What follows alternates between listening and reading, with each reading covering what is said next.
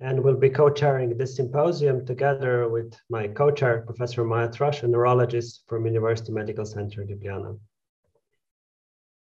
And we have some very interesting talks planned for today that will cover a variety of different topics related to brain imaging, um, all the way from using multimodal approaches for modeling and pathophysiology of different neurodegenerative diseases, novel, novel analytical techniques.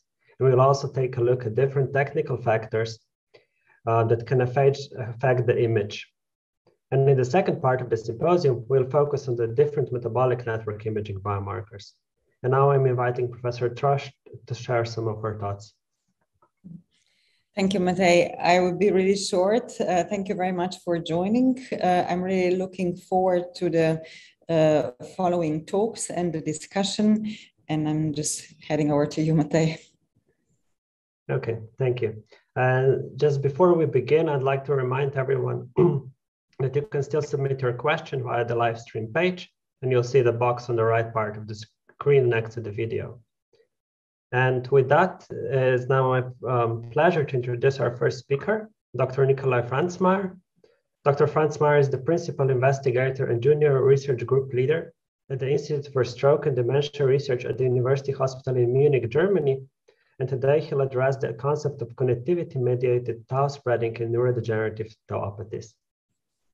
The floor is thank, yours. thank you, Matej. Hi, and hi, and welcome everyone. I'll just uh, briefly start sharing my screen. Um, all right, um, you should be able to see my screen now. Hopefully the only one slide, right? Yes. But, okay, perfect. Good. Um, then I can basically start. Um, yes, so thank you very much for the invitation. It's a great pleasure uh, to introduce our work um, here at this conference. Um, and the topic of my talk will be on mechanisms of tau pathology spreading in Alzheimer's disease and for repeat tauopathies. And I'll start with introducing our work on Alzheimer's disease. And first of all, give a very brief introduction uh, of our current understanding of Alzheimer's disease. So we nowadays have a biological definition of Alzheimer's disease, or short AD, uh, which starts with the deposition of beta amyloid in the brain which is then followed by the expansion of tau pathology. So these are the two defining features of the disease. And together, this leads to, in the long run, to neurodegeneration, and of course, the cognitive decline and dementia, which we observe clinically. And our lab in Munich has a particular interest in understanding the progression of primary Alzheimer's disease pathology. And today I'd like to introduce a work that we did during the last couple of years on better understanding the progression and expansion of tau pathology. So, in its physiological form, tau is stabilizing the uh, microtubules within the axonal compartment of a neuron. However, in, um, in Alzheimer's disease, those microtubules disintegrate, tau forms fibrils or tang or protofibrils uh, within the neuron. And very importantly, um, these tau fibrils can spread across synapses. So, this has been extensively shown by uh, preclinical studies. And this spreading of tau pathology is really a key driver of cognitive decline. So while previously tau could only be staged using post-mortem assessments, we can nowadays visualize tau pathology in vivo using tau PET imaging.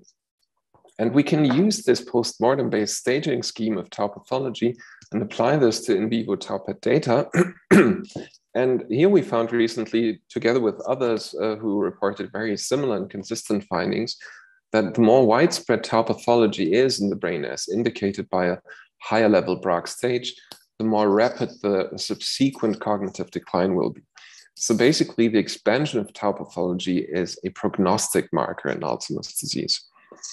And in our lab, we're basically trying to translate this connectivity mediated tau spreading, which may give rise to the uh, spatial expansion and spreading of tau pathology in Alzheimer's disease to the level of in vivo neuroimaging. And to model the connection between brain regions, we use functional connectomics, mostly using resting state fMRI, where we map the connectivity between brain regions as the correlation in the bold time course that we record during fMRI. And we combine this connectivity assessments with tau PET data that we obtain from mostly flortaucipir PET imaging.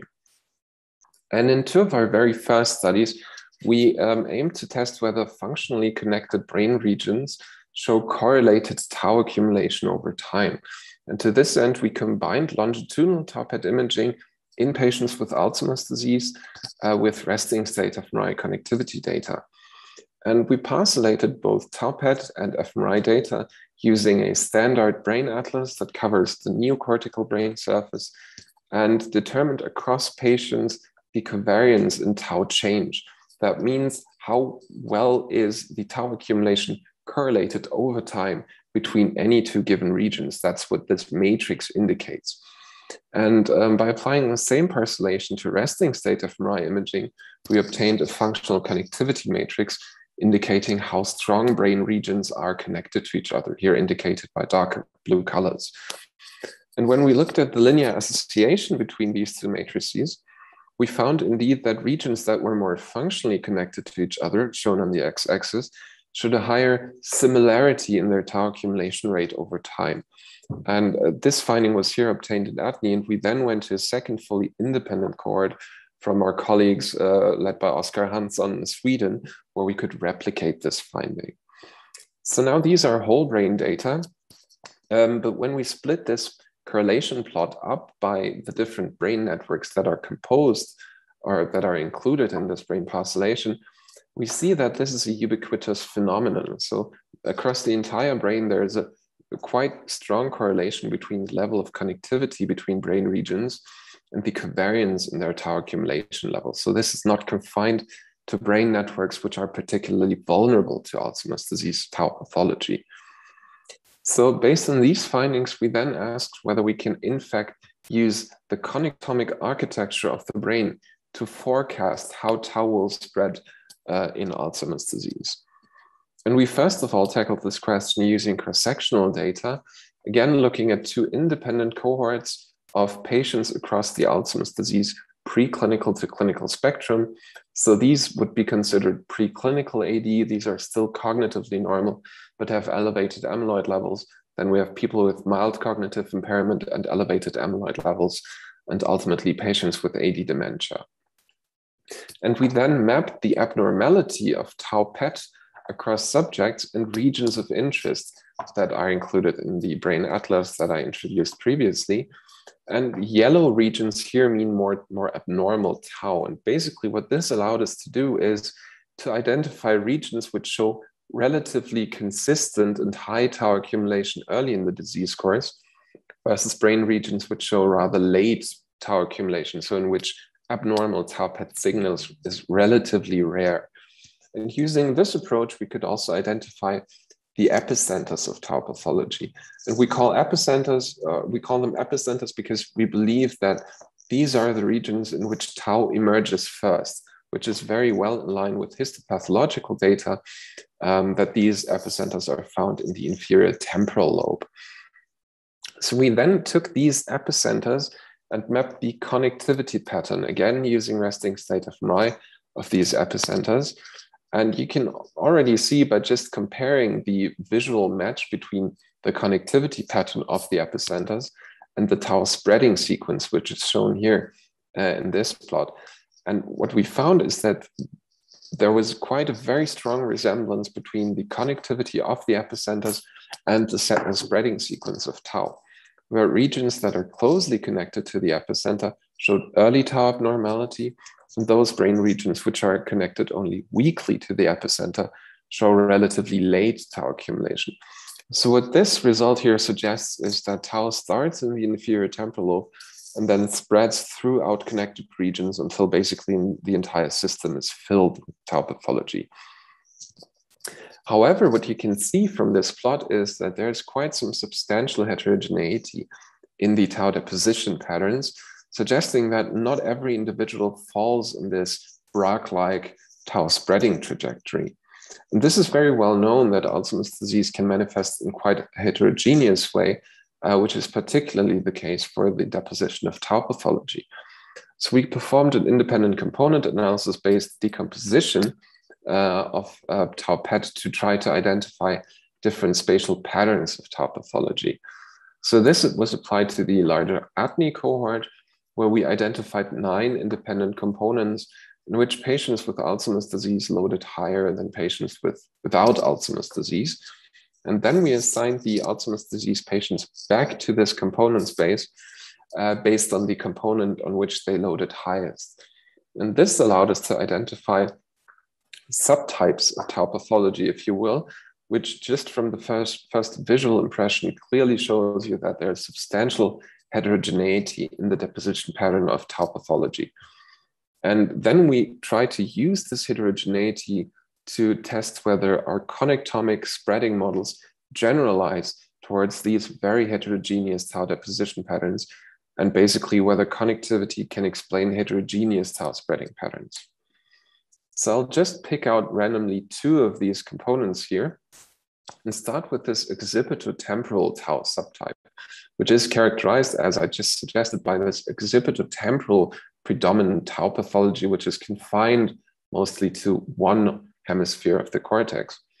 And then to emphasize how tau spreads within this subgroup of participants, we performed a sliding window analysis where we sorted individuals from low to overall high tau positivity and applied a window that we slid across the spectrum and obtained the mean tau deposition which within each of the windows.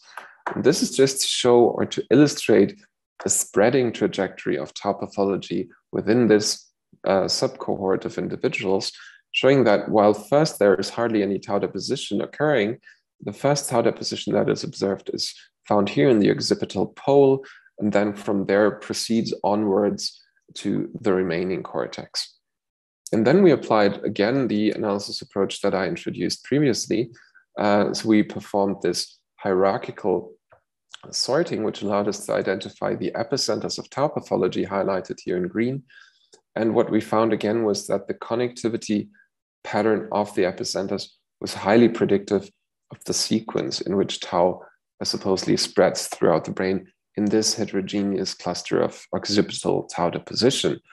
And when I move to another subtype, which is this parietal tau subtype, uh, we performed basically the same sliding window approach and found the earliest tau deposition here in the uh, lateral parietal lobe from where it spread, uh, spreads onwards to the remaining cortex.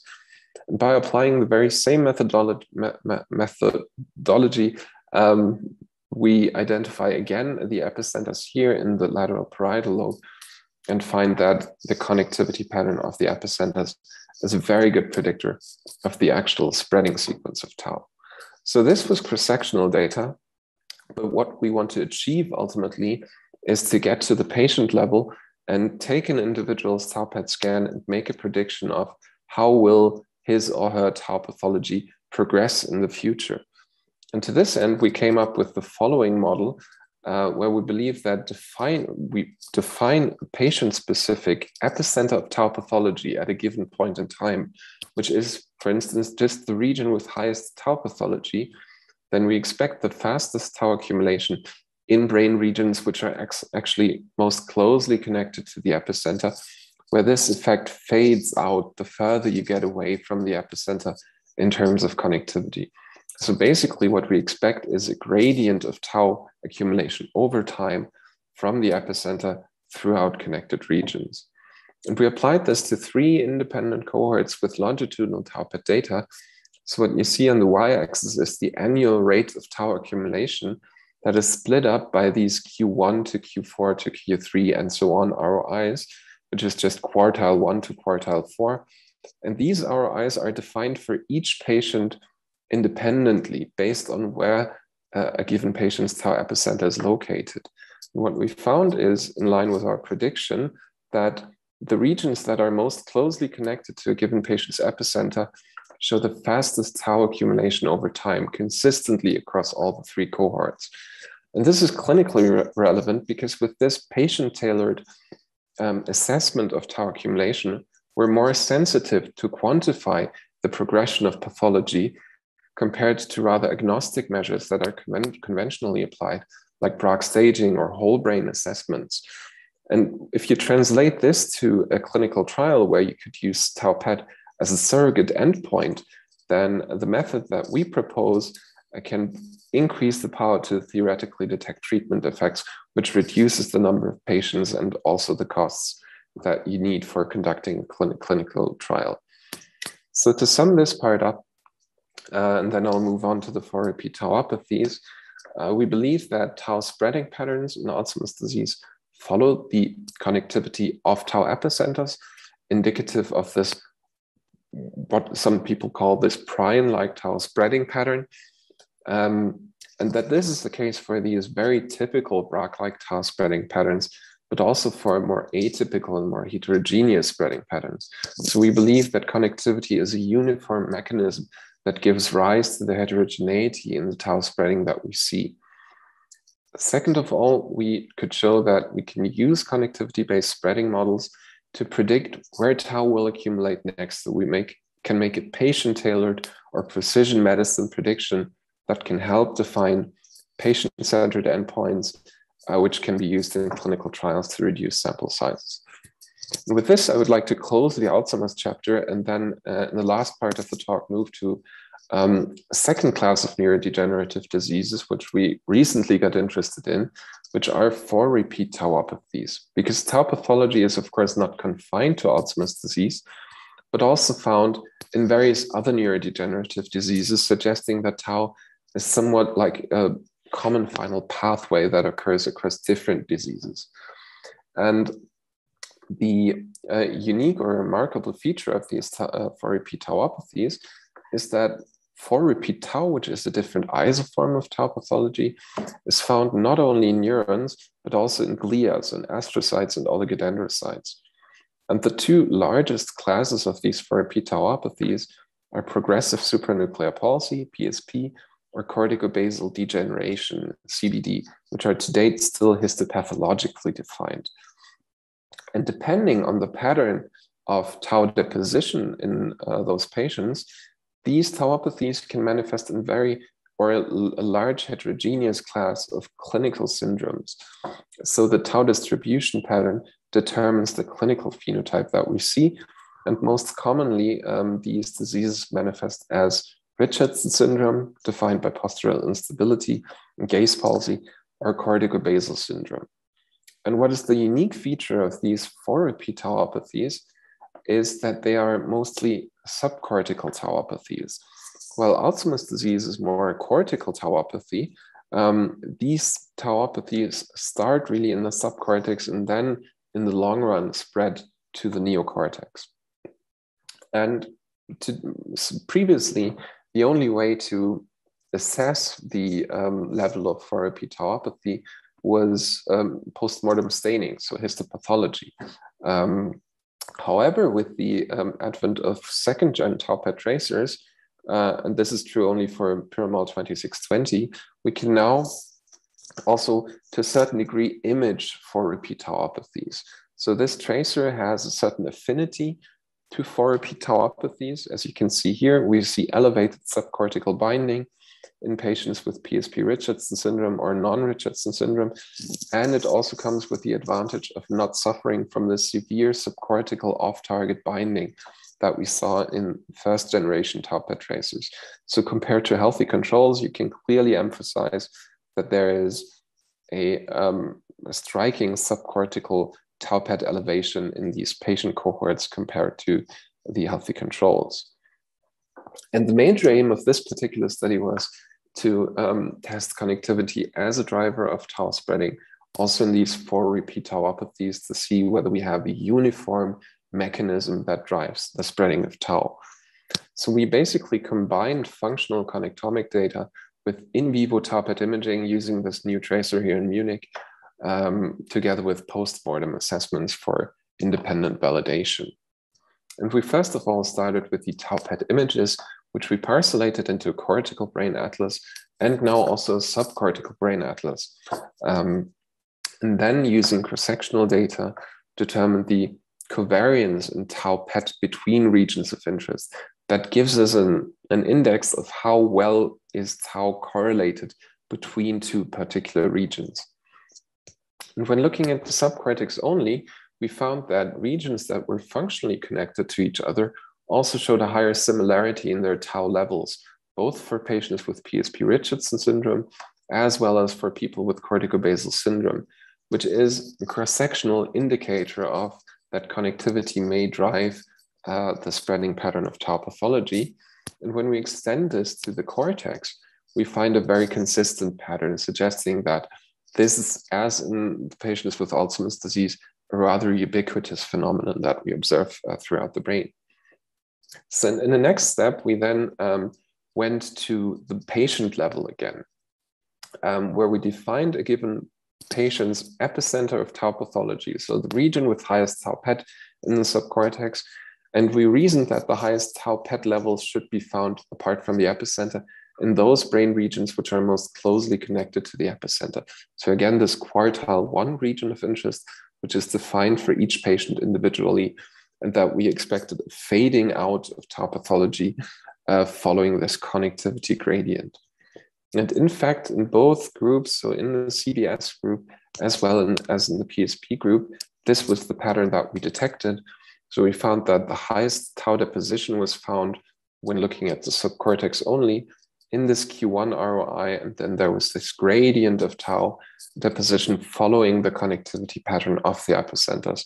And when we then moved to the cortex, we found again a very similar pattern suggesting that the spreading of tau pathology subcortically as well as cortically in these 4R tauopathies may be driven to a certain degree by um, the connectivity pattern of the epicenter.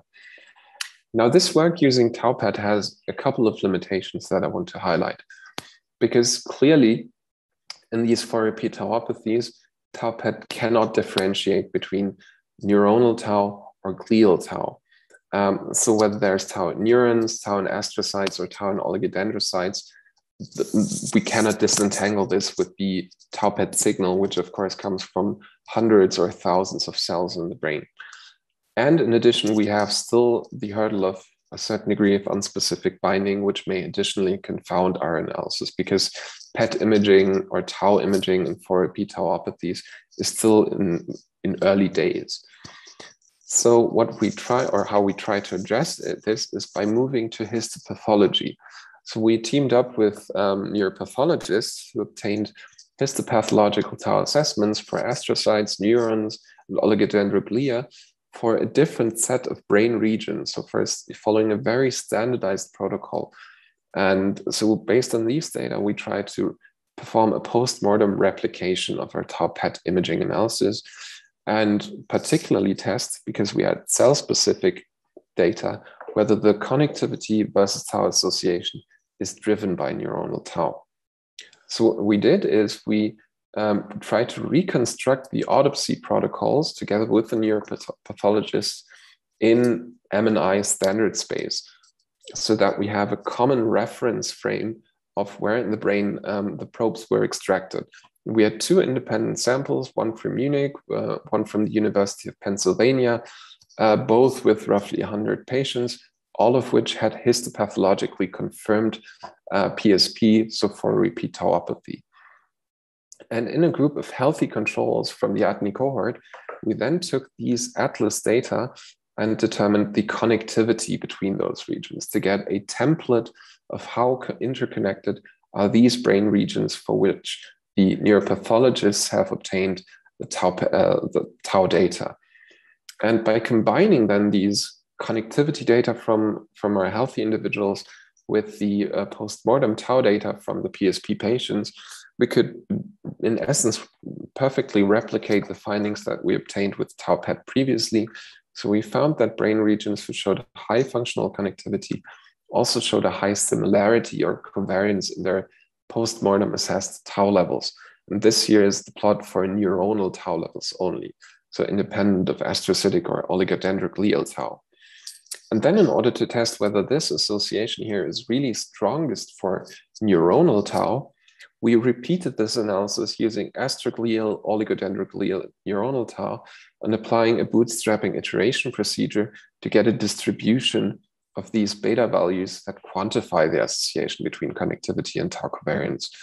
What you see is in both cohorts, again, that neuronal tau has the strongest association between connectivity and the covariance in tau, which is indicative that this tau spreading may be in fact mostly observed on, along neurons uh, where oligodendroglial and astrocytic tau may follow this pattern.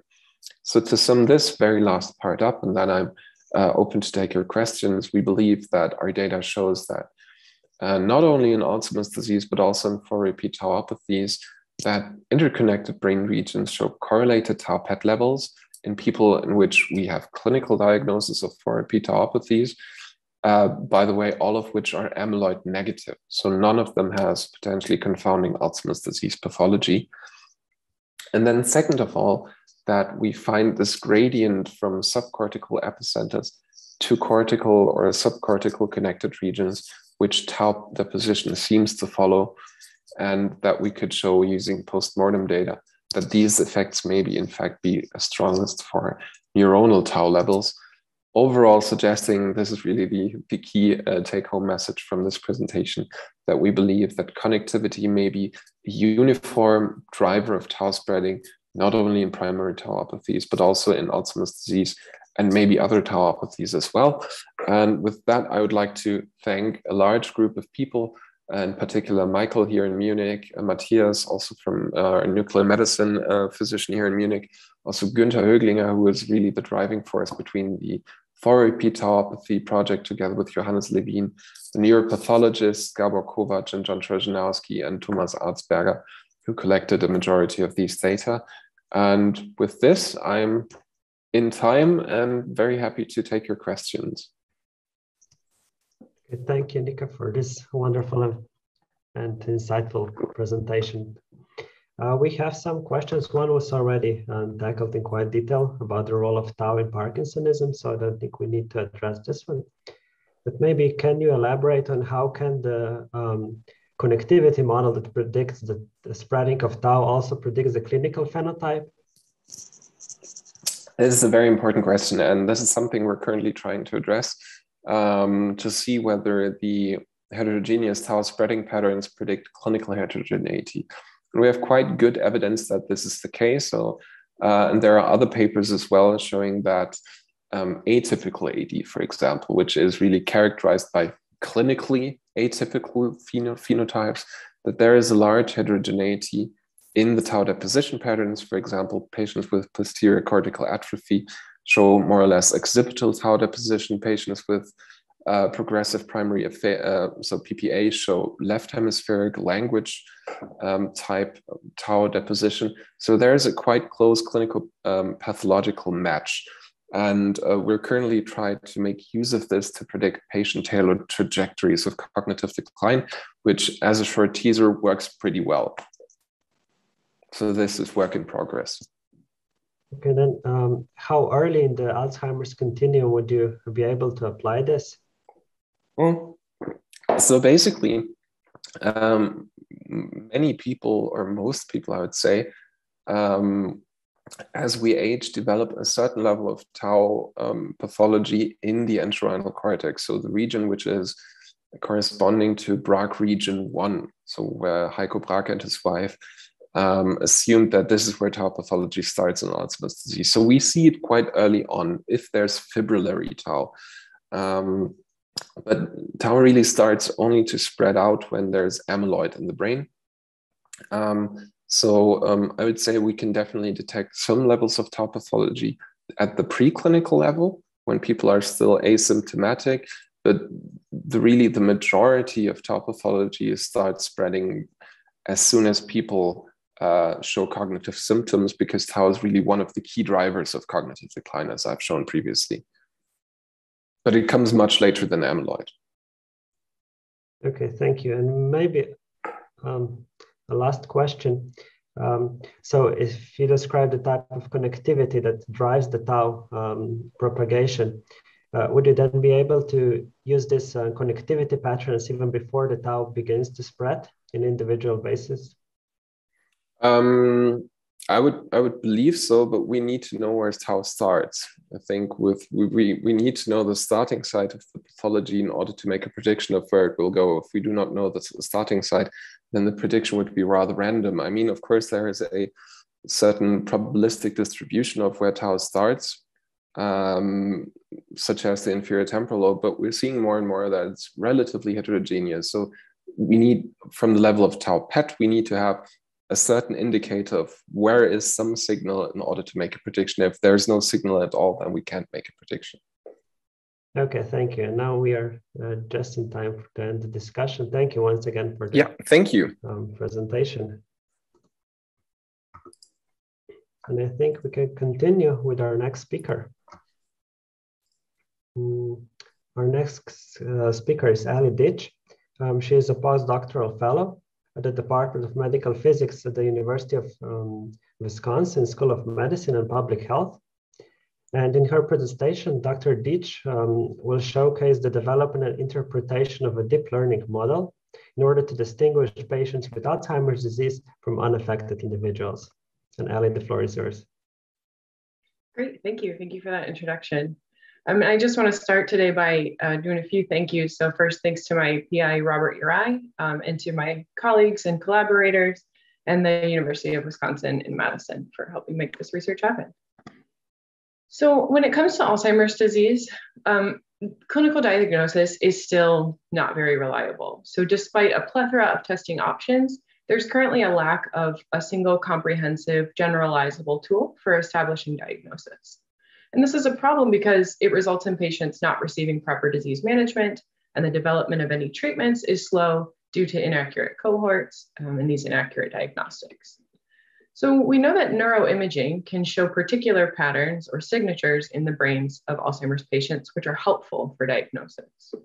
And while we know that imaging holds important information, there's no real consensus on which modality is best for this purpose. So MRI is most frequently used, partly due to its widespread availability, um, and this shows structural change, but FDG PET may illustrate metabolic changes, which can happen prior to the onset of structural changes, and potentially allow for earlier diagnosis relative to MRI and clinical symptoms. Now, these two modalities and others are rarely compared directly in the same diagnostic model, which makes it very difficult to determine objectively their influence on model performance and which is best for diagnosis. So while many types of deep learning models have been developed for this purpose of Alzheimer's diagnosis, um, and there's a lot of great work that's been done in this area. It's difficult to know which model is best and how it should be employed. And this is because models are difficult to compare objectively, and there are a large number of factors influencing their performance. And so it's still not well understood which features and inputs make one model more advantageous than another. So in this study, we present a novel deep learning model and systematically investigate the influence of imaging modality on its performance. So beyond imaging modality, there are a few other features which are important to consider to determine the advantages of a particular model. So one is the inclusion of longitudinal information. And this may, we hypothesize, improve classification accuracy as it has in other image analysis methods. Um, the second um, important feature is validation with an external data set. So the ability to generalize well um, to a new patient data set is a critical challenge for deep learning models, and especially for their translation. And the last thing is the addition of interpretability methods like attention heat maps. And these help move deep learning tools away from purely black box models. So the purpose of our work today is to develop a novel deep learning model to distinguish brain scans of patients with Alzheimer's disease from normal controls. The primary objective is to then investigate the influence of imaging modality on this model performance and secondarily, we want to explore whether the addition of longitudinal data affects the model. Um, we want to determine how well the model generalizes to a new unseen external data set. And we want to identify which regions are most influential to the model's decision. So the model we're using here is a convolutional neural net or CNN with a cascaded recurrent neural net or RNN. And so what we do is we train the two class CNN, both with and without this cascaded RNN. So the CNN takes in single time point brain scans and learns the spatial features of those scans. Um, and it, this, the CNN then outputs a class prediction of either normal or Alzheimer's disease. We then use the CNN to output feature maps of only patients with multiple time points within a two year range. So patients with one to two year gaps between their scans which we use as the input to an RNN. Um, and so we take up to three feature maps for each patient, input to the RNN, which learns temporal features and outputs binary class predictions for each patient. So to dive just a little bit deeper into this model, I'd like to call your attention just to a few um, critical features. So for one, the CNN inputs are both single time point images as well as clinical data. Um, and that's corresponding for each patient. The second um, interesting feature is this masking layer. So not every patient has all three time points. Um, and so this masking layer helps the, the model recognize when there is some missingness in a, in a patient's information. And the last thing here to call your attention to is that the RNN is made up of these bidirectional gated recurrent units or these um, gated rectified unit blocks or gated recurrent unit blocks, which take in the feature maps from all three time points and relate them to the scans both uh, forward and backward in time so that the, each time point is related to the time point on both sides of it in time. So that, that's how the RNN learns that temporal information. So the data set we compiled for this work was from ADNI, from the ADNI database. It's FDG PET scans and T1 weighted MR scans. Um, and you can see that we have, we, there were more PET scans available to us. Um, and the patient data, the clinical data we collected was just simply age and sex. So the scans were all pre-processed um, in with using SPM 12, and you can see a couple of example scans here. So to dive a little deeper, a further breakdown of the makeup of each data set, um, note that we balanced each data set between classes before training the models. Um, so there's an equal number of Alzheimer's disease patients and normal controls. And the top row here is what data goes into the CNN, and the second row here is what data goes into the RNN. So we also use an independent data set for validation from the University Medical Center in Ljubljana with 104 single time point FDG PET scans. So we ran the model five times for each imaging modality with shuffled data, obtaining classification predictions from both the CNN alone, as well as the CNN with the cascaded RNN. And so plotted here are the average ROC curve over five runs with shuffled data and then we output the AUC or the area under this curve. We also calculated the accuracy at the optimal threshold um, as, as opposed to the a 0.5 threshold. So you can see the best performing variation of the model had a maximum AUC of 0.93, which is very promising. But now that we've shown that our model works with good success, we really want to investigate the influences on this model. And if you recall, the first one we wanted to, in, to investigate was imaging modality. So in, in order to really investigate the influence of PET versus MRI, um, we really need, we needed to make sure that there was the same amount of data going into each model. So because we had more PET data in the CNN and more MR data in the RNN, we had to restrict these before we compared. So when we do this, we see a significant improvement in the model using PET data in both model types, both the CNN alone and the CNN plus RNN. You can see this by this distinct difference in the ROC curves and the AUC area under those curves. So one hypothesis here is that the MR images tend to vary quite a bit more from each other than PET images. So it's possible that using MR might require a larger or more harmonized data set in order to see the same performance as PET. The second objective uh, um, and feature we wanted to look at was whether longitudinal really affects the network's performance. So does adding the RNN really matter? And again, we needed to make sure that we matched the number of scans, the amount of information going into the CNN versus the RNN.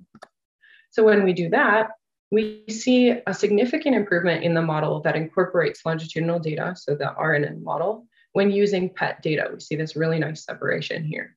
But we don't see that same improvement with the MRI data.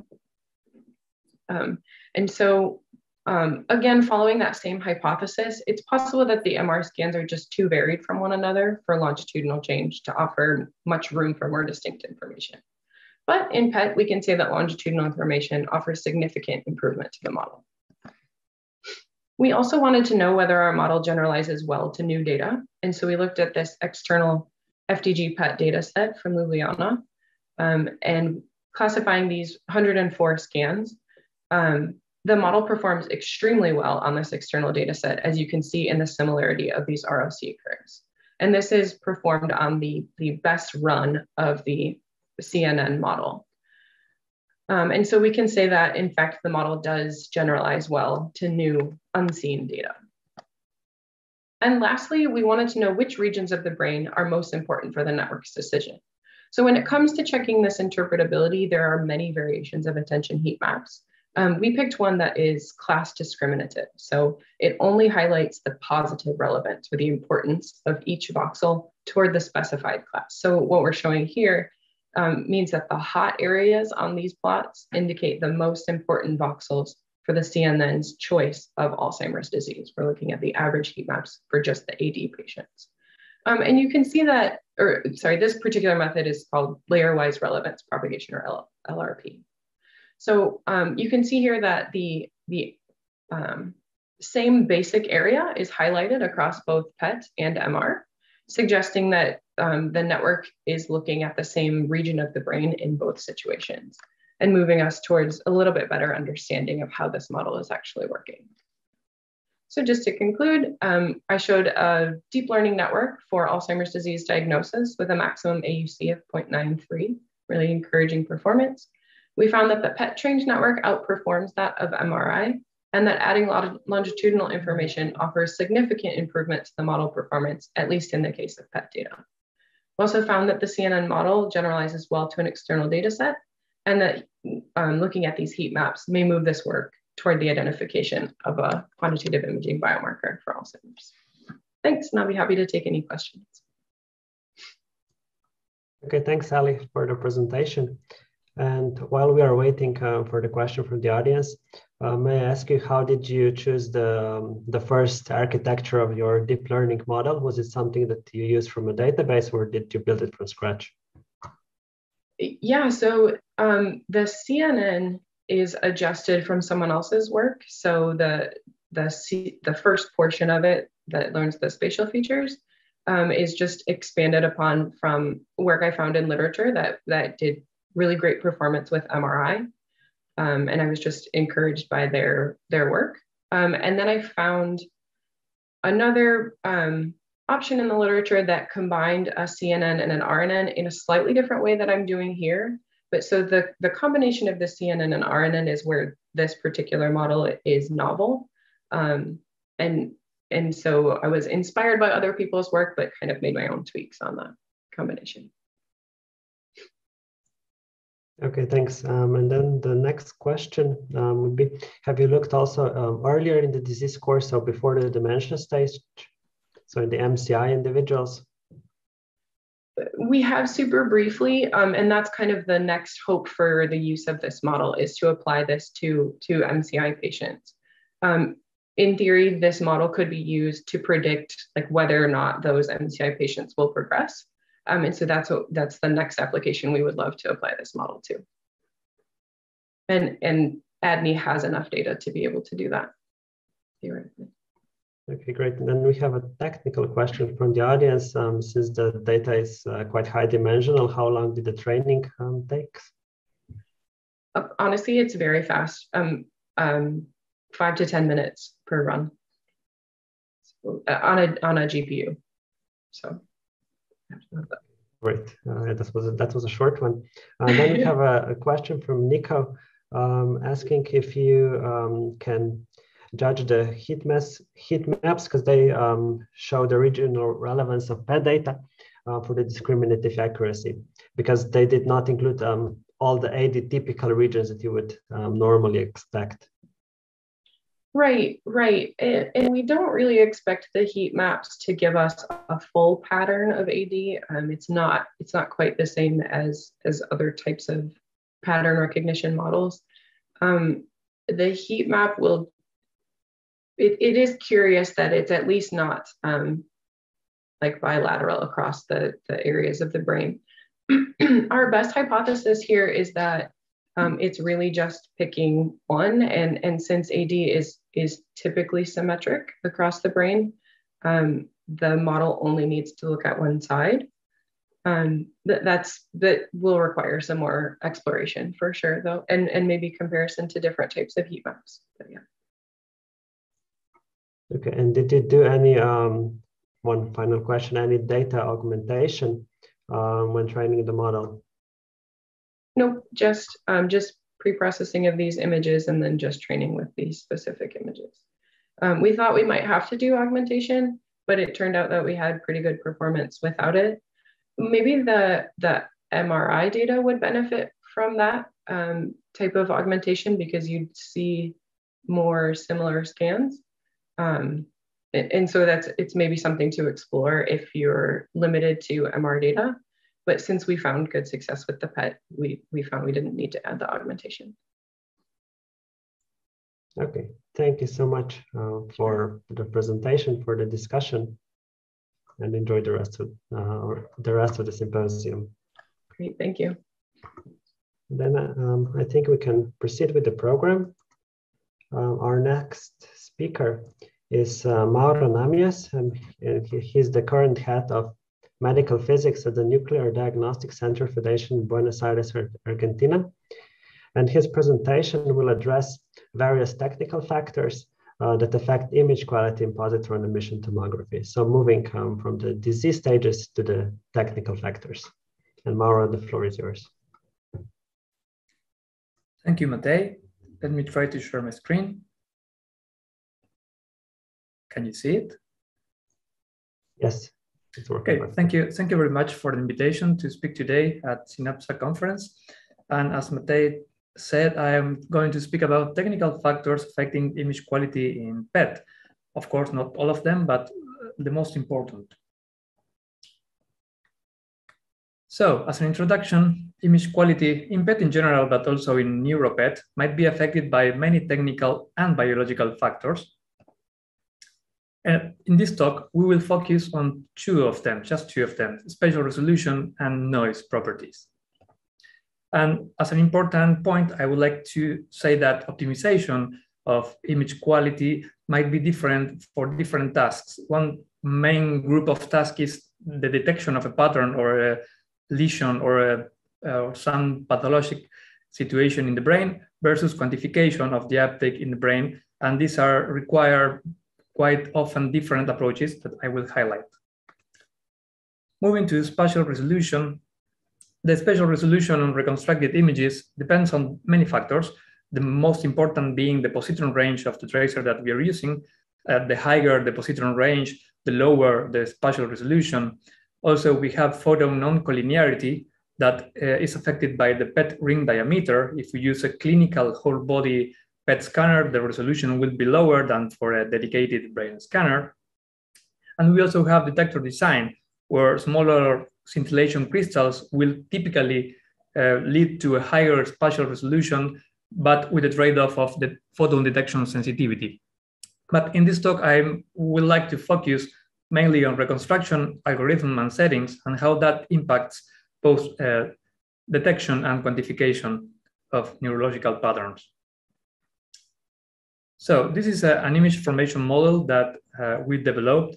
Uh, and after a sufficient number of reconstruction iterations, such as with the OSEM algorithm, we can linearize the spatial resolution of the reconstructed image by stating that the observer, the observed image the, the image that we will analyze can be approximated by the convolution of the ideal tracer distribution, the ideal activity concentration, with the point spread function of the system.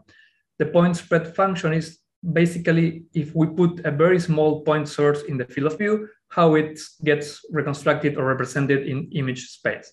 So uh, typically what we, what we get is a blurred version of the underlying activity distribution. And this affects uh, most heavily objects or structures that are small compared with this spatial resolution characterized by the PSF. But also, we have to consider the, the effect of noise. And this is typically modeled with an additive noise term, but this noise term in PET is signal dependent. This basically means that the noise variance is proportional to the mean number of counts or the, the mean activity concentration in that voxel. So one convenient way to characterize the effect of both spatial resolution and noise is through the use of contrast recovery coefficients, which are defined as the ratio between the measured activity uh, in the image against the real underlying activity concentration that we can know, for example, with a dose calibrator. And these contrast recovery coefficients are typically plotted as contrast recovery coefficients against Uh, object or sphere size. And CRCs can summarize complex 3D spatial resolution and noise properties in convenient one-dimensional numbers or scalar numbers. One meaning that we have a perfect recovery of the signal, lower than one meaning that we have lower recovery than ideal. So one easy way to estimate these contrast recovery coefficients is through a novel method that we published a couple of years ago that uses a cylindrical phantom that is filled with, for example, uh, FDG or fluorine 18 FDG, from which the point spread function and noise power spectrum is easily estimated in an automated way. And that information is used to simulate uh, realistic spheres from ideal spheres, and finally estimate the contrast recovery coefficients. So CRCs can be estimated in an easy uh, procedure, which is fully automated. And also this toolbox or methodology could be easily extended to simulate custom objects such as an, brain, uh, an image of the brain. I here leave uh, the QR code in case you are interested in downloading this open source toolbox. As a, a practical example, we also have to consider that overall noise level for example, characterized by the standard deviation of the noise, decreases with the square root of the activity time product. This means that in, from a practical uh, example, if we have a fourfold increase in acquisition time or injected activity, noise is reduced to one half. So we have the square root of time in this case. And in this plot of CRC max versus sphere diameter, we can see that going down from 20 minutes to five minutes acquisitions, the noise component goes to the uh, two times the noise that we have for 20 minutes when we go down to five minutes. Here we can see the effect of the number of reconstruction iterations on image quality, both on uh, spatial resolution and noise. If we start with the low number of uh, updates, which is the um, product of iteration and subsets, we get a blurred image, but with low noise. As we increase the total number of iterations, spatial resolutions goes up, but also does the image noise. So when should we stop? What's the optimal cutoff point? Well, if we analyze the effect of iterations on a simulation without noise, with, or would be equivalent to an infinite counts or infinite acquisition time, we can see that a spatial resolution com uh, conversions of spatial resolution after only 28 updates, after which we don't get any gain in spatial resolution. So why continue iterating? So in this case, this number of iterations would be optimal with regards to the spatial resolution. If we continue iterating, we are only amplifying noise. If we add noise to the simulation, for example, with, for a typical 12 minute acquisition of a neuro brain imaging, we can also see that as we increase the total number of iterations, the impact of noise becomes, becomes higher and higher. And in this particular example, the lower overall bias is also obtained with a low number of iterations, in this case, two iterations on 14 subsets, which is the bold line highlighted in the graph. If we focus on uh, pattern detectability, uh, mostly related to the human observer performance, a useful metric is the noise equivalent quanta, or NEQ, which can be thought of a window through which the observer sees the signal that is looking for. And thus this NEQ quantifies how much of the frequency content is transmitted through the imaging and reconstruction process. This NEQ is basically the ratio between the resolution of the scanner divided with the noise power spectrum or the, the, how much noise is for any particular frequency. So in, in this previous example, if we plot this NEQ versus spatial frequency, we see that as we increase the number of iterations, this window or this useful window goes down, meaning that lesion detection or specific pattern detection would be harder as we increase the number of iterations due to the increase in noise. So detectability might be higher at low iterations.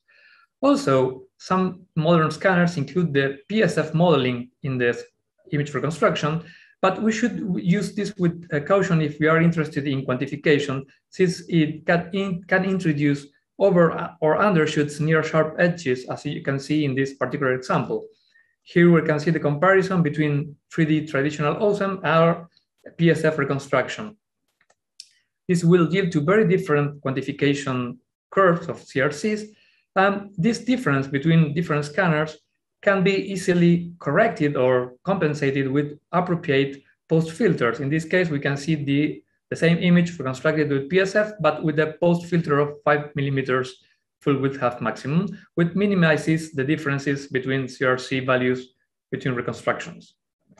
So to conclude, image quality in NeuroPet is affected by reconstruction settings. Reconstruction optimization is different for detectability against quantification uh, objectives. Increasing the number of iterations isn't always better because uh, noise is increased, and reconstruction settings can be easily optimized with an open source toolbox, which you can be free to download. And PS, PSF modeling should be used with caution for quantitative purposes due to the, this over-quantification for some spatial frequencies. But these effects can be eliminated or mitigated with adequate post filters. So thank you very much for your, attention and I'm happy to answer any questions. Okay, thanks, Mauro uh, for presenting.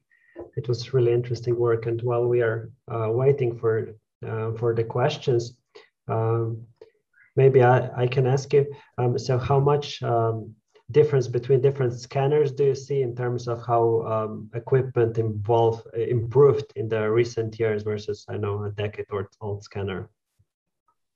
Um, that's a good question, and I would say that the difference between different scanner models might be smaller than what you can modify inside a single scanner, meaning that even if everyone had the same scanner model, if you change the reconstruction settings, the impact could be higher than the impact of different acquisition technologies.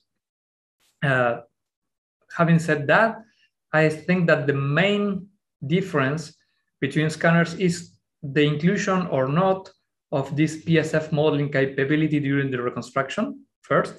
And the second most important factor would be if you have a digital PET compared with an analog, analog PET, uh, where photomultiplier tubes are replaced with uh, solid state uh, sensors. Okay, thanks. And then we have a, questions, a question from the audience um, from a clinician point of view. Um, so in clinics, um, we often wish to scan patients who are restless, and um, it's sometimes difficult to, for them to lie quietly for 20 minutes or so. Would then um, higher dose of radioligand shorten the scanning time also for, for post-processing reason, reasoning? And would that be um, safe regarding the patient safety? Well, uh, from a pure technological point of view, with modern scanners, which are based on LSO scintillators with fast electronics, time and activity are practically inter interchangeable, meaning that if you double the activity, you could lower to one half the scan time. But that would lead to the double of uh, radiation exposure to the patient. So one potential solution for that problem of patient motion uh, could be to acquire the image in dynamic mode, uh, where you get the series of frames a long time instead of one single static image. And then if the patient moves, perform an intra-patient uh, spatial registration to the first image, for example. And in that way, you could mitigate the effect of patient motion if present. Okay, thank you. And uh, maybe a follow-up question related to this, um, going in the other direction, um, how about reducing the amount of radiation and increasing, um, for example, post-processing steps or amount of iteration done? So if you would Sorry. reduce, if you would reduce the amount of radio, radioligand given, would mm-hmm. you be able to um, gain the same quality of image with additional um, reconstruction? Not or... with reconstructions. You could, you should increase the acquisition time, uh, I, unless you have a, some particular of advanced post-processing capabilities available, such as AI-enabled reconstructions, which I didn't mention in this talk, or some adaptive denoise scheme, which could potentially decrease the radiation dose without affecting image quality. In the traditional sense, with typical reconstruction technologies, no, you have to double the, the acquisition time to have the same image quality. Okay, thank you. Um, and I don't think we have any further questions from the audience, so uh, thanks once again uh, for the presentation. Well, thank, thank you for, for inviting me to the talk. And um, then I'm um, first, I'd like you just to um, direct uh, the audience to um, look at the poll at, at, the live stream site. And now I would um, hand the word to my co-chair, um, Professor Trošt, to introduce our next speaker. Um, thank you. Thank you very much, Matej. it's my pleasure to uh, welcome and announce next speaker, Katharina Schindlbeck. She's uh, a German medical doctor currently working in New York at the Feinstein Institute for Medical Research. Um, and uh, her research topic are um, functional networks in neurodegenerative disorders. And I'm really looking forward to her talk about the cognition-related functional topographies in Parkinson disease and uh, relation to ventral default mode network. Katharina, please. Hi, thank you very much, uh, Maja. Um,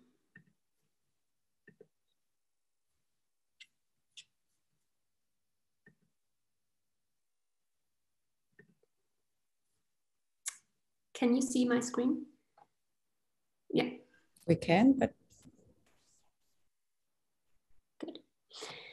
Yeah, thank you very much for having me here today. I'm really excited to present um, my recent work on um, cognitive networks um, that can help us to better understand cognitive decline in patients with Parkinson's disease. Although um, Parkinson's disease is primarily a movement disorder, cognitive um, symptoms are very common among these patients. Um, to give you an example, um, 10 years after being diagnosed, um, the majority of PD patients will develop um, dementia. And the underlying mechanisms are not very well understood so far. And for example, we don't know why some patients remain cognitively unimpaired for quite some time, while other patients um, develop um, cognitive impairment fairly soon. Um, we know that um, cognitive decline is associated with um, changes in resting state networks um, in different um, neurodegenerative diseases. And apart from that, there are also disease or cognition related networks that are associated with the clinical phenotype and um, those networks can be quantified at the single subject level. Um, and the um, expression um, increases with um, disease progression. Both um, normal resting state networks as well as those disease related networks are associated with upstream and downstream disease processes. And therefore, they represent valuable imaging biomarkers that can um, be used in um, the early stage of the disease. And for example, um, they can be helpful in clinical trials. In addition to um, the assessment of clinical symptoms, they can be used to um, assess um, efficacy of treatments. In this study, um, we looked at a cross-sectional um, data set of over 150 PD patients that were um, scanned um, with FDP, FDG PET and um, cognitively assessed uh, with a um, large cognitive battery. And these patients had different degrees of cognitive decline. And as you can see on the left side, the um, PD cognitive related pattern, short PDCP, did increase stepwise with worsening cognitive um, function. So it was um, significantly higher in patients with single domain MCI compared to those um, who were cognitively unimpaired and um, increased further in those with multiple domain MCI and were highest in those that were diagnosed with um, Parkinson's disease dementia. On the right hand side, um, you can see the parallel changes that um, happened in the default mode network.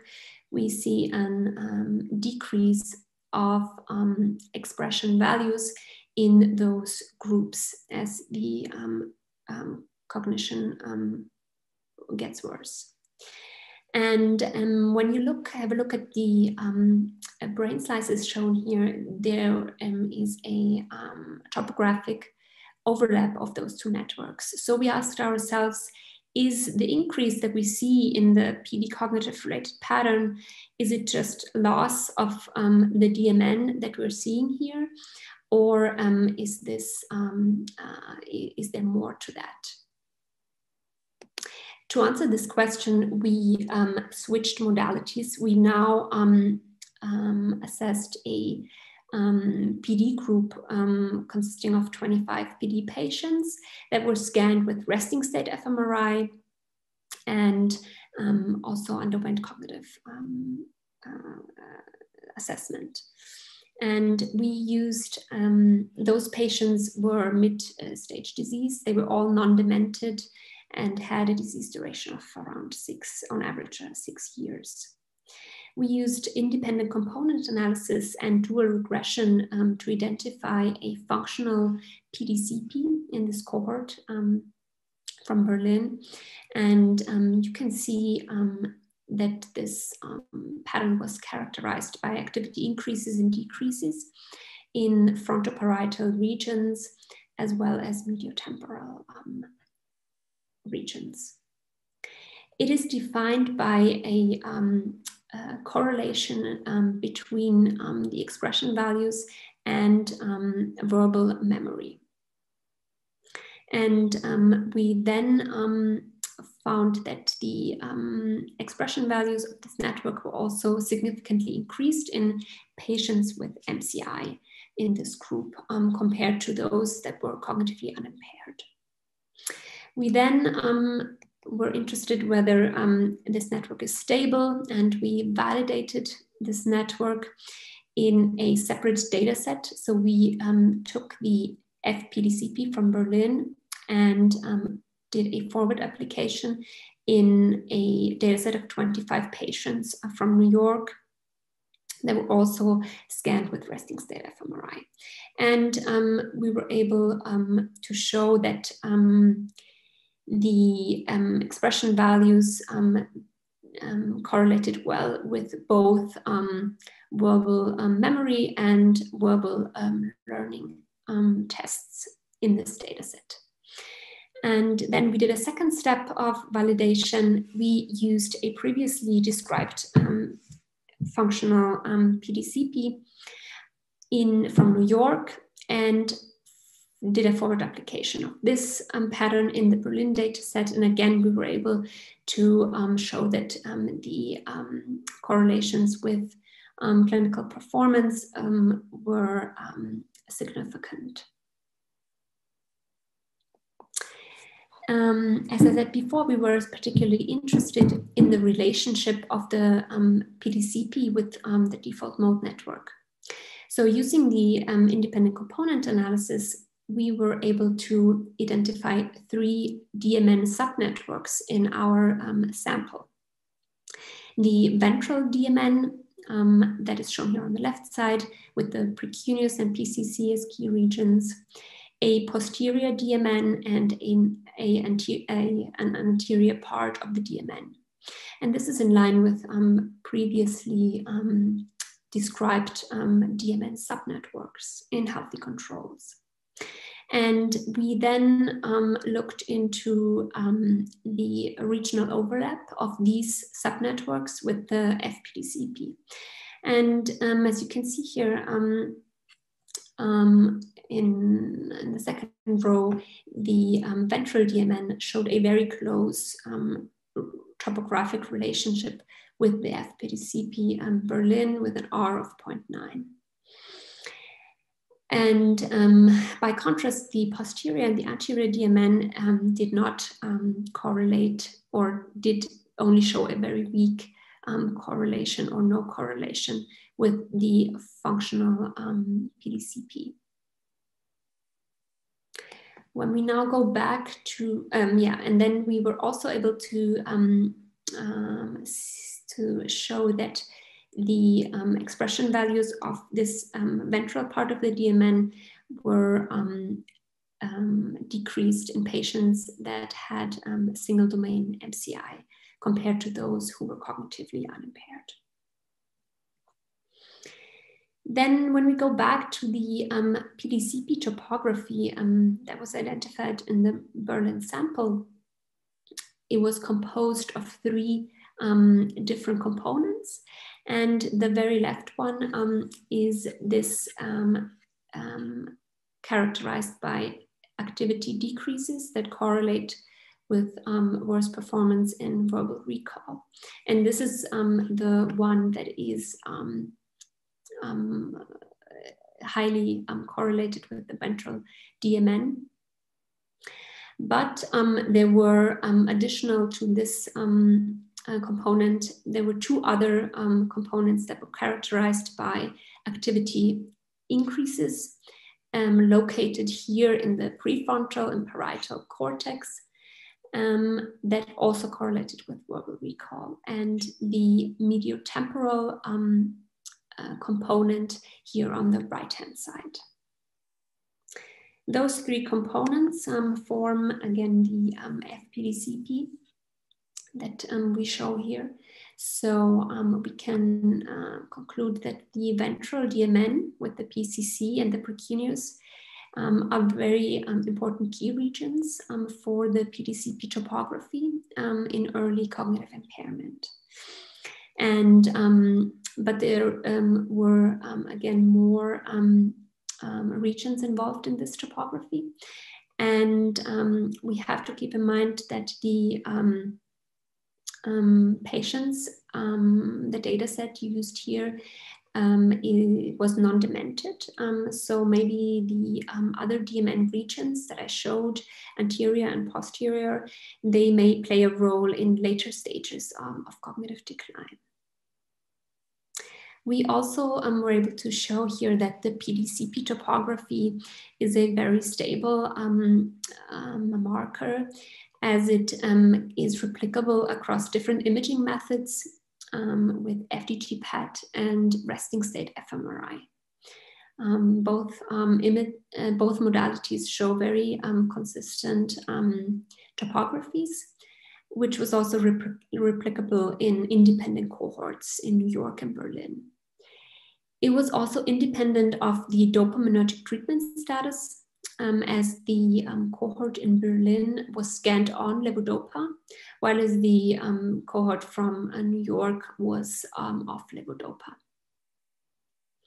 So um, the PDCP um, expression can be quantified at the single subject level, and therefore it is represents a valuable and interesting um, marker for cognitive function in Parkinson's disease patients that um, could be used, um, uh, for example, in clinical trials to assess um, treatment um, effects. And um, but it could also be an interesting marker to be used in a more broader clinical setting in the future that uh, can assess early cognitive changes in patients with Parkinson's disease. Um, that said, uh, um, I would like to uh, thank you very much for your attention.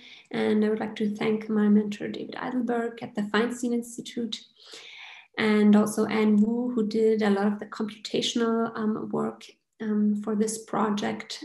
And also um, my former colleagues at the Charité in Berlin that helped recruit, recruiting um, patients and did uh, some of the clinical work. And of course, um, I'd like to acknowledge my funding um, institutions. Thank you.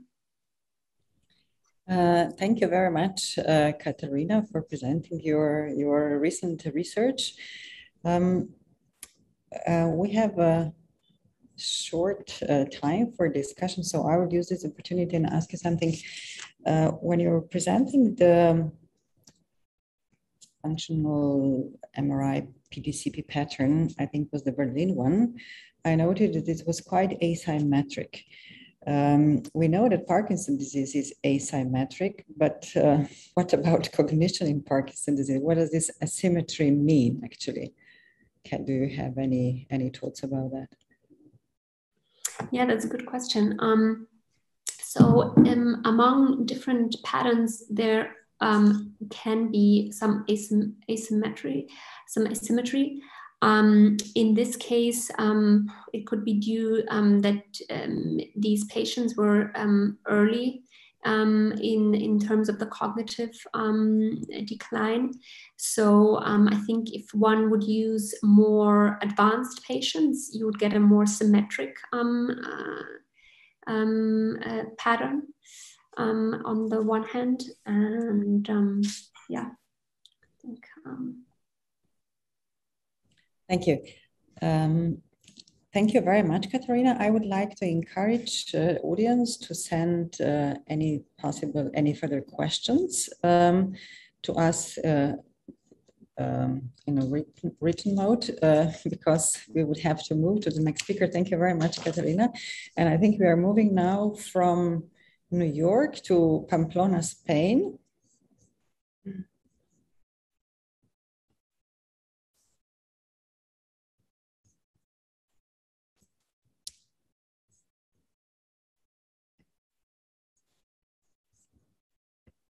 Um, hello. Okay. hello. hello. hello, Hi. Gloria. Hello. Uh, can you see my screen? We can. How, how is Pamplona today? Pretty good. Thank you. Uh, thank can you. you. see my screen or um, share? Thank you for joining. Let me first introduce you. Uh, Gloria, uh, Gloria Martí-Andrés is an assistant professor in the Department of Neurology and Neurosurgery at the University of Navarra, Pamplona, Spain. She is also a neuroscientist, and she will present us her exciting work on um, um, on uh, different uh, types of uh, atypical Parkinsonism called PSP through the window of metabolic uh, characteristics. Uh, Gloria, I think you have to share the screen. Okay, perfect. Can you see my screen? Yes, thank you. Okay, thank you. Good evening to everyone. My name is Gloria Martí-Andrés. Um, first of all, I would like to, to thank the conference committee for inviting me. In this talk, I'm going to present to you our research about the, metabolic correlates in PSP clinical subtypes. Okay, sorry. Okay. As uh, it has said before, um, progressive supranuclear palsy is a primary tauopathy associated with heterogeneous spectrum of clinical features. These clinical features include a variable combination of behavioral, cognitive, cognitive, and motor phenomena. These features were included in the current clinical criteria defining different PSP subtypes. However, these criteria are not specific enough at early stages. Therefore, early diagnostic biomarkers are needed. Thus, to finally determine the more accurate biomarker, we studied the physiopathology of the disease. PSP is considered a dynamic disease rather than a stationary condition. In fact, some patients initially manifest a non-classic PSP subtype, and eventually develop a common full symptomatic stage as the disease progresses. In this talk, we will refer to this phenomenon as phenotypic convergence. Moreover, if a phenotypic convergence implies clinical similarities among PSP patients, it may underlie common regional distribution of functional findings, which in turn could be used as a, as a biomarker. Therefore, our research has focused on three main objectives, which are First, to evaluate the clinical evolution of our cohort of PSP and determine if there is a phenotypic convergence among them. Then we evaluated the possible correlations of the regional glucose metabolism. Secondly, we evaluate the brain glucose metabolism in each subtype to understand the metabolic similarities and differences in, sub, in PSP subtypes. And finally, we define a common metabolic PSP-related pattern and evaluated its diagnostic accuracy. So we performed a longitudinal retrospective multicenter study that included a cohort of 72 patients with a final clinical diagnosis of PSP. These patients had been referred for a FDG PET scan to aid in the differential diagnosis of a Parkinsonian syndrome. Additionally, we included PD patients and healthy subjects as reference groups. Regarding the FDG PET images, we defined four cohorts based on the PET procedures.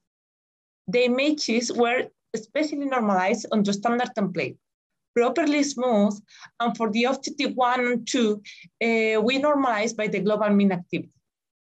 For a better understanding, further methodological details will be explained in each section. Regarding the clinical characteristics in the three main clinical groups, PSP patients were slightly older than PD patients and showed a more severe disease with higher motor impairment and functional disability despite similar disease duration. Among PSP subtypes, patients with a final clinical diagnosis of Richardson syndrome showed a shorter disease duration without significant differences in motor impairment nor functional disability at the time the PET was performed. To evaluate the phenotypic convergence among PSP subtypes, we analyzed the longitudinal expression of the PSP core features. Interestingly, the different PSP subtypes showed a parallel clinical progression with differences in the time of onset regarding the oculomotor and postural instability, instability clinical domains.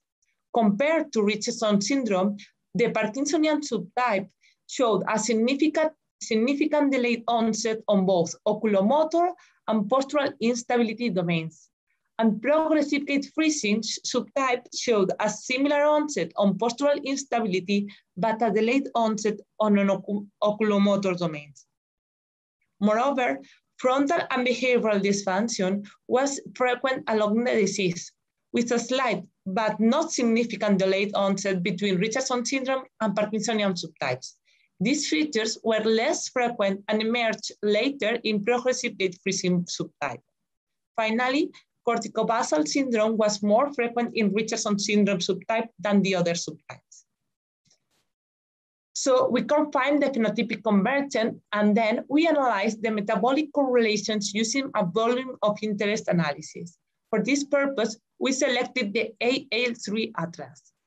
Then we perform a generalized estimate equation model to estimate and then reconcile the effect on the, of the PET procedures on the raw activity data.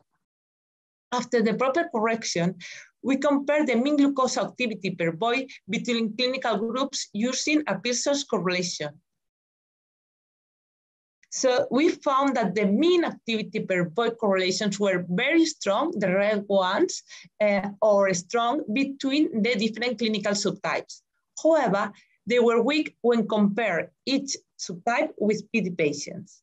The figure on the top illustrates the glucose metabolism per VOI relative to healthy subjects.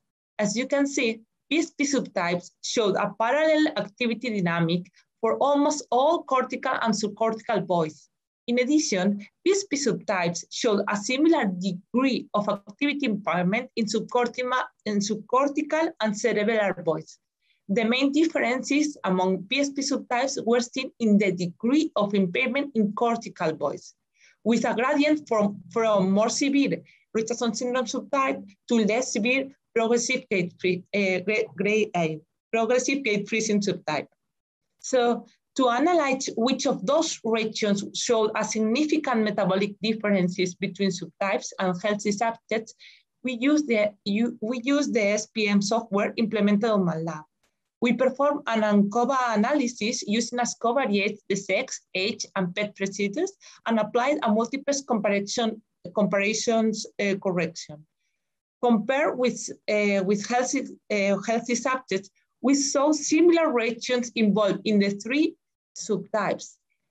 Differences were seen in, first, in the anterior putamen, particularly in the Parkinsonian subtype, and also sorry, in the severity of the regional involvement that was more severe in the Richardson syndrome subtype.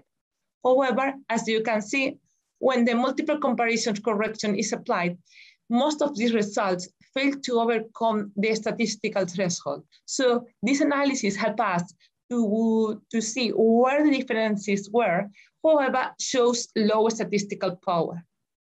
So as we have seen uh, similar metabolic regional dynamics among PSP subtypes, we propose that a common Im imaging uh, biomarker could be useful to differentiate PSP subtypes from PD and healthy subtypes. For that purpose, we use the scale subprofile model and principal component analysis to obtain a PSP-related pattern. The identification cohort contained a representation of the three subtypes so we obtain this pattern, the, the pattern map, and the pattern map confirm the, the regions or the regions previously observed uh, as involved in PSP were also part of a functional network. Moreover, we apply the pattern into identification cohort and also a three, uh, three independent cohorts and observe that uh, an and we observe an optimal diagnostic accuracy to differentiate both PSP uh, patients from both PD patients and healthy controls. More in detail, patterns expression discriminated the Richardson syndrome and the Parkinsonian patients from P both PD patients and healthy subjects. However, despite showing higher patterns expression in PSP progressive gait freezing subtype, it was not significantly different from PD and healthy subjects, probably due, due to the small sample of this subgroup, subtype. Thus, we can conclude that despite initial clinical heterogeneity among the PSP subtypes, we observe a trend for converging towards a fully symptomatic stage that encompasses oculomotor dysfunction, postural instability, and in most cases, an executive or behavioral syndrome. Moreover, PSP subtypes show similar regional metabolic dynamics, which support the longitudinal clinical parallelism detected among them. Particularly, uh, Richardson syndrome subtype shows the most severe and greatest station of the metabolic disturbances, whereas Parkinsonian subtype shows an intermediate position, and progressive freezing subtype shows the less uh, expressive metabolic uh, disturbances. Finally, we also conclude that the common PSP-related pattern is a useful and reproducible supportive diagnostic tool for differentiated PSP subtypes from PD and healthy subjects. Finally, I would like to thank my colleagues from Groningen and Pamplona and also the audience for their attention. Good evening. Thank you very much, uh, Gloria, for presenting this work that clinicians uh, see every day in our clinical practice, actually. Um, I wanted to show you, you said that you uh, decided to identify the PSP pattern on all patients uh, together. You didn't divide them by type, is that right? No. And why was that? Is it because you didn't have enough or uh, I mean, did you still try to, to find a pattern of specific subtype?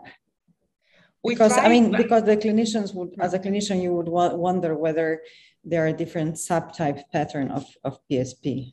Yeah, of course, but uh, we have to know. Uh, first of all, uh, it was the the same. Uh, they we put all together because we saw uh, similar dynamics. Uh, but also because of the, we tried to do the different patterns in each subtype, but uh, we had four, uh, two scanners in, and two centers, so four cohorts. it means that uh, it's about 20 patients per cohort, and mainly they are uh, Richardson syndrome subtype. So uh, about the, we don't have enough patients uh, from Parkinsonian and progressive gait freezing subtypes in each, uh, in each cohort to obtain a, a, a, a particular uh, pattern of each subtype and then to try to compare. That's why we also apply the SPM, the univariate analysis, to assess which were more or less the similarities and the differences between, between the subtypes. But it was because these are quite rare uh, subtypes. The most common is the Richardson syndrome, uh, but the progressive freezing is a very rare subtype. And it, uh, we, I think that we have seen at least five or six in our neurologist career. So it's quite difficult to, to find them and to, to have a, an FDG PET in the same PET camera and the same acquisition parameters. Thank you. Thank you for this uh, uh, detailed answer. But um, the fact that on SPM analysis you did find uh, different characteristic in this subtype, this if this somehow predict that if the sample would be big enough, you should probably get also different patterns, right? Or or, or not? What do you think? Yes, but the main uh, oh, it's, uh, it's true. Uh, the Parkinsonian variant shows an asymmetric, more asymmetric pattern and also uh, affects the anterior part of the putamen, and that it, it makes sense. And the progressive freezing, freezing affects the subcortical, mainly the subcortical uh, nuclei that is similar to the neuropathological findings, but uh, somehow uh, they the the the they the sim, they um, share similar nucleus in the subcortical area, and they it was our hypothesis to to apply like a pattern um, that and they only differ in the extension and the intensity of the metabolic disturbances. Of course, uh, for the rare uh, subtypes, perhaps it's not so good as we have seen with the progressive gait freezing subtype. Thank you very much, Gloria, for sharing your results with us. Um, and bye-bye bye-bye to Spain. Uh, and um, we will proceed with our uh, um, presentation and we are now back uh, to Ljubljana. And it's uh, my great pleasure to present, not to present because you already know him, my co-chair, uh, Matej Perovnik, who is a PhD uh, student and uh, he will present us uh, the results of his Richard's recent research results on the metabolic characteristic of two common dementias and whether they can help us differentiate among them. Matej, please. Okay.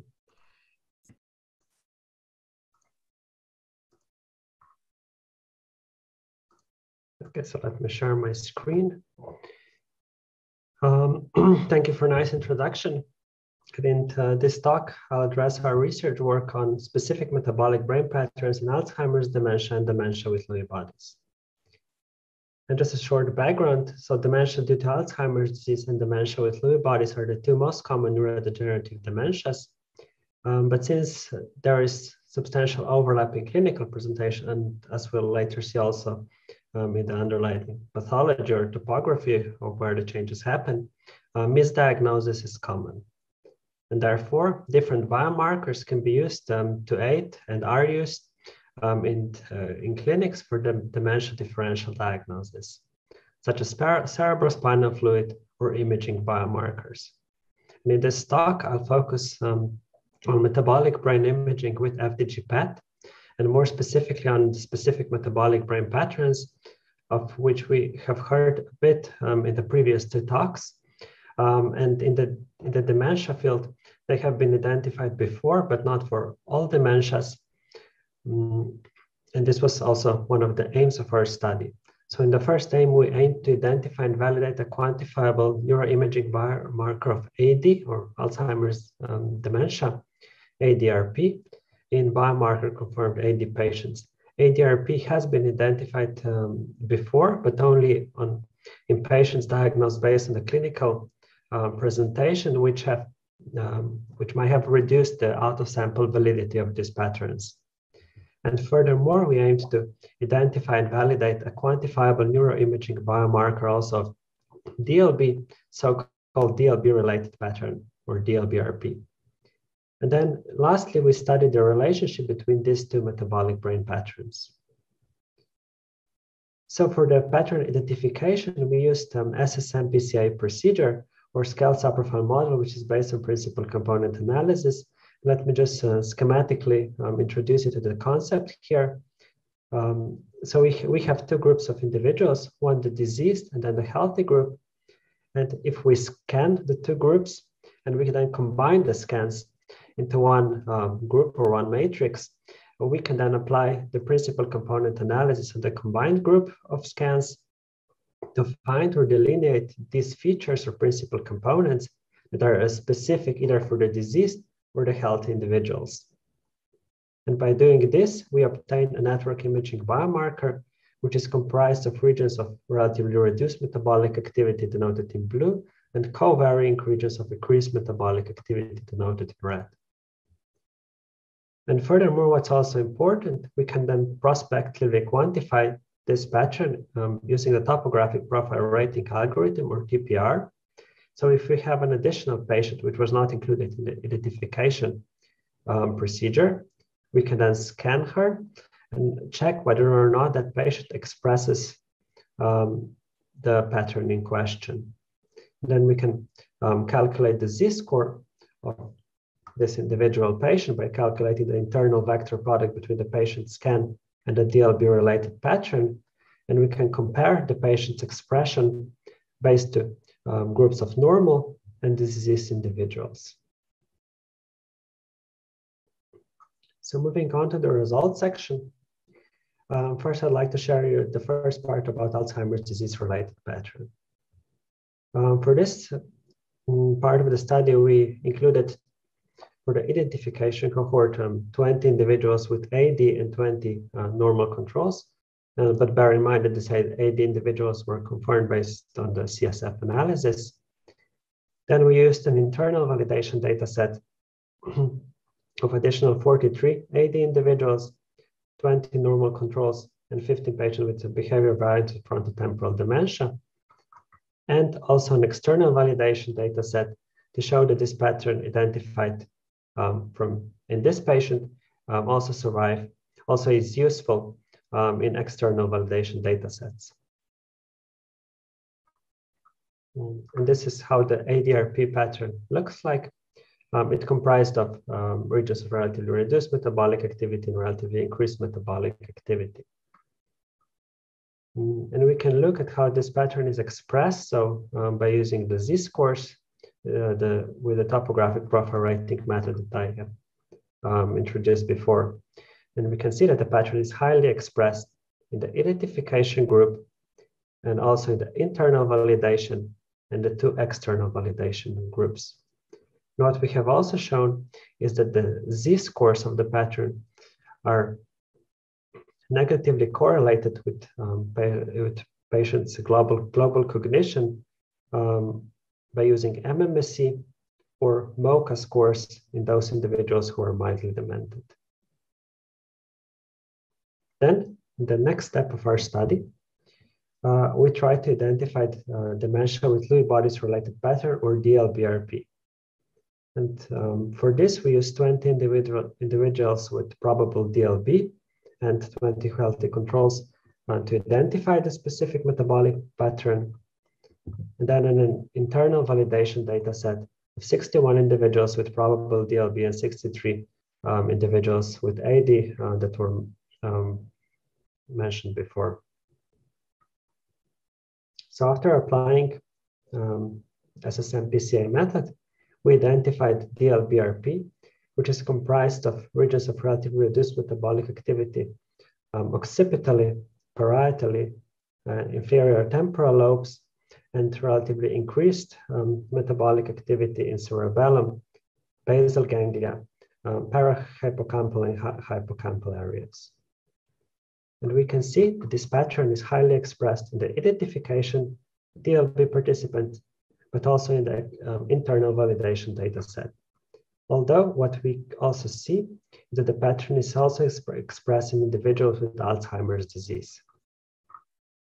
And we look, um, then the, in the next step, uh, we looked at the topographic overlap between the two patterns. So if we see ADRP on the left and DLBRP on the right, um, we can already observe that they are similar. And um, here I'm just um, showing you a few slices um, denoting the regions of topographic overlap between the two patterns, denoted here in purple.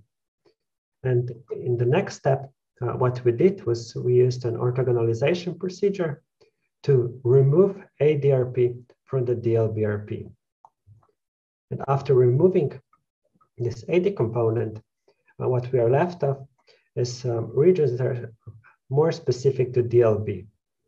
And we can also observe this looking at the z-scores of this newly identified pattern. This is still highly expressed in the identification cohort, in the DLB validation cohort, but now uh, the AD individuals are on the same level with um, healthy controls. And we, um, if we take one um, look back, uh, comparing the, the expression of the original DLB pattern or after removing the AD, we can see that only parts specific to DLB remain in this pattern and thus improving the separation between the two groups. Furthermore, we also looked at the DLB patients with and without the Alzheimer's pathology. And um, to do this, we use CSF analysis um, and we stratified um, patients, those that are probable DLB um, based on the clinical diagnosis and uh, had abnormal amyloid versus those that had normal amyloid levels. And firstly, we observed that ADRP expression, uh, which is related to the Alzheimer's pathology, uh, was highly expressed um, in so in the Alzheimer's, um, so DLB with Alzheimer's pathology, but not in those who did not have non, uh, who did not have Alzheimer's pathology. And when we um, address this ADRP expression, we can now observe that the two groups um, are still this, uh, now the same based on their DLB-RP expression. So that's removing the Alzheimer's pathology. What remains is um, specific for the DLB. And to conclude, um, in this research, we have shown that DLBRP is a specific metabolic biomarker of DLB. And we have also shown that there is some overlap uh, between DLBRP. Uh, we speculate that this is um, not just based on the topographic overlap, but also on the sharing um, underlying pathophysiological, pathophysiological processes um, in amyloid and tau deposition. And after accounting for the overlapping variants, only regions that were specific to DLB um, remain, and we can use this pattern um, to accurately distinguish between the two diseases. And with this, um, I'd like to also acknowledge um, my colleagues uh, from the institution here in Ljubljana, uh, from the Feinstein Institutes for Medical Research and Medical Physics Research Group. I'd like to thank the audience for their attention and be willing to tackle on some questions. Um, thank you very much, Matej, for your timely uh, presentation. Uh, I wanted to ask you something again from a from a clinician point of view. If somebody would ask you now after your uh, you presented these results and you've done all these analysis, do you believe that Parkinson disease dementia and dementia with Lewy bodies is the same syndrome, just a little different, or do you think these are two different entities? Okay, thank you for the question. Um, so in regard of Parkinson's disease dementia, we um, so we see an even larger um, pathological and clinical overlap. And uh, we did some preliminary results um, showing that this um, DLB part that is specific um, to the DLB um, is more expressed uh, in DLB patients in, in, and not in the patients with Parkinson's disease dementia. And also um, coming back to the uh, Katharina's talk, um, we have some preliminary results showing that the PDCP or Parkinson's disease cognitive pattern is uh, something that's um, correlated with cognitive decline only in PDD patients, but not um, reflecting cognitive impairment in DLB patients. So based on our data, we would see that the two, the, two diseases are distinct, um, have a distinct networks involved in their um, cognitive impairment. Okay, thank you. But could you could you say is DLB more similar to AD, to Alzheimer's disease, or to its cousin Parkinson's disease, based on your results? Um, yeah, based on uh, this that we have that I have shown um, before, we can um, clearly see that there is an AD component present in DLBRP. Um, but what we also found is that the PD component is um, also present and even and even more um, more so. Um, thank you very much, Toma, um, and I'm already welcoming um, Tomaž. Uh, Tomaž Rus is also a PhD student and a neurologist uh, from the Department of Neurology in Ljubljana. Uh, and he spent uh, quite some time over the last year in the at the neuropathology department searching for some uh, correlation between metabolic pattern and the pathology of uh, sporadic Creutzfeldt-Jakob disease.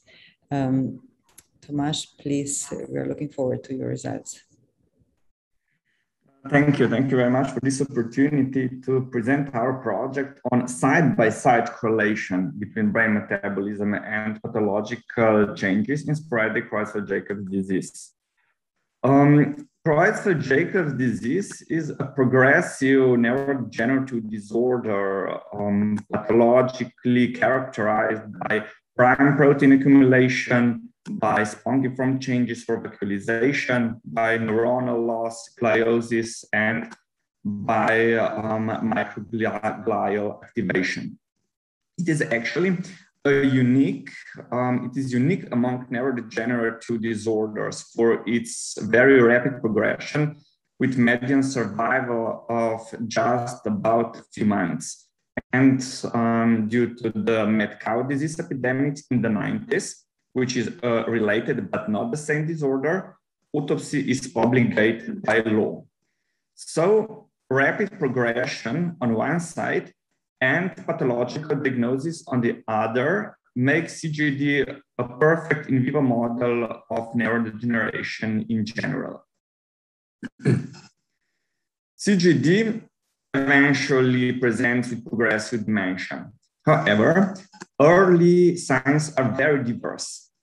And moreover, spatial distribution um, of pathological changes um, is diverse as well and depends on subtype and disease duration. However, our group previously found um, consistent changes in brain metabolism measured by FDG-PET among patients. And even further, we identified and validated a robust CJD-related multivariate pattern um, called CJDRP. We actually use the same procedure um, as Matej um, described before.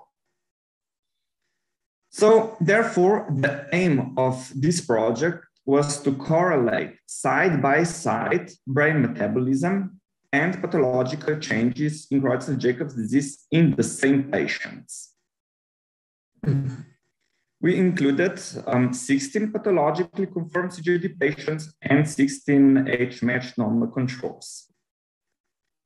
Um, all the subjects underwent FDG PET imaging to obtain um, plain FDG PET, um, and images were then pre-processed in SPM and then underwent region of interest analysis. We have chosen um, 12 strategic regions based on CJDRP pattern. The regions um, that were either very impaired or um, most preserved. So um, these regions were then scored um, according to normal controls. After these um, 16 patients unfortunately died, um, brain samples were obtained um, from the same 12 strategic regions. These um, samples were then um, paraffin embedded and stained by hematoxylin eosin, um, immunohistochemically um, stained against prion protein and against activated microglia to show inflammation. After the hematoxylin eosin samples, um, all, the um, hematoxylin eosin samples were assessed for vacuolization by three independent examiners. Um, samples treated um, uh, against prion protein were assessed as well by these three independent examiners and also by automated assessment, computer-based assessment um, using um, software. Samples treated with antibody against activated microglia were assessed with both methods as well. So um, after the um, lab work was done, um, we were interested first in consistency of metabolic and pathological changes um, among patients. With other words, um, our question was, is there any spatial pattern in metabolism, in vacuolization, in prion load, or in inflammation? The second question was, do metabolic changes correlate with pathological changes on a group level? We investigated it um, using Spearman or Pearson um, correlation. And the third question was, do metabolic changes correlate with pathological changes on a single subject level? Um, for this purpose, we built multivariate mixed linear models. So regarding consistency of um, spatial distribution, um, the region of interest analysis showed consistent pattern in brain metabolism across regions, as you can see from this chart, and um, as it was also expected from our previous research. The consistency was substantial and highly significant. However, um, the consistency was considerably lower for vacuolization, as may be seen um, already visually from this chart um, and achieved only fair consistency. Moreover, um, spatial distribution was even more variable for prion load and for inflammation. Um, consistency was only slight um, as shown uh, with single score intraclass correlation test. So Second, do metabolic changes correlate with pathological changes on a group level? We found significant correlation between vacuolization and regional metabolism. However, um, it explained only about 40% of variance. On the other hand, we did not find a significant correlation between prion load or microglial um, activation and um, regional brain metabolism. What was interesting um, in this part of the study, and is definitely worth to study in the future, is that um, there were clear clusters regarding histological and embryological properties of brain regions, as you can see um, on this chart. So then we tested the same question on a single subject level with mixed linear models. And once again, um, we found highly significant, um, a highly significant effect of vacuolization on metabolism. Again, the effect of prion load did not affect metabolism, but there was there was some marginal effect of inflammation of metabolism. So with this project, our group showed that um, Creutzfeldt-Jakob's disease seems to consistently affect brain metabolism despite inconsistent pathological changes. And that pathological process seems to universally affect um, consistent um, brain network regardless of pathological spatial pattern. These findings may be extended also to other neurodegenerative disorders, of course, with appropriate um, caution. Um, uh, Gloria um, uh, um, has already um, thought about um, uh, this in her talk, and also um, mentioned it at the end at the comments. So um, in the future, we intend to continue this project to study correlation between CJDRP regions and pathological changes, and also to study CJDRP network connectivity according to pathological findings. Thank you very much for your attention. Um, Thank you very much, uh, Tomaž, also for your very timely presentation. And um, I'm going to uh, take myself a privilege for this for the first question, and this is: Do you have any possible explanation or any idea why is this discrepancy uh, between pathological changes and brain metabolism um, so obvious in, in prion disease, but also in uh, other neurodegenerative disease I already mentioned. Yes, well, it seems that pathological process affects a specific brain network, um, regardless of where um, it begins. Um, we know from the study in Alzheimer's disease that um, uh, amyloid doesn't correlate um, with um, um, it doesn't correlate with um, metabolic network um, disruption. Um, uh, Mateo also showed us that um, uh, there is similar um, there is similar pattern in uh, Parkinson's disease and DLB. They are both alpha synucleinopathies. So it seems that um, pathological uh, process um, has a specific um, specific um, effect on um, uh, network disruption. But we can also say it's a different pathologic patholo pathological processes uh, don't or do because it's different for tau uh, pathology, for example, in Alzheimer's disease. This this one correlates quite well with the um, with the brain metabolism. So uh, if you would have some pathologists in audience, it would be interesting to hear their their opinion. Certainly something um, that's a um, very desirable future topic of, of research. Um, with that, I would like to thank you, uh, Tomaž, and I'm heading over to my co-chair, Matej, for the closing words.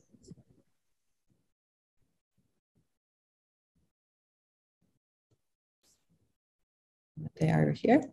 Yeah. Um, so thank uh, thank you for um, attending uh, the presentations today. Um, thanks for all for to the audience, obviously, and thanks to all the presenters once again. Uh, and um, thank you, for Professor Trošt, for co-chairing this event with me. Um, just a few guidelines for the audience um, for the next um, plenary lecture. So um, we have a 15 minutes break, break scheduled. And in the meantime, um, there is a poll, uh, there will be a poll on the live site where you can fill out your data um, to gather the uh, CME uh, credits um, for whoever is, is interested in those. And um, so we start again at 15 minutes past um, six with a very interesting um, plenary lecture from Professor Thilo van Eimeren and Entangled. Um, so can uh, what can the brain metabolism tell us about the neurodegeneration stories of putting some of these things we discussed and presented into a bit more broader um, perspective.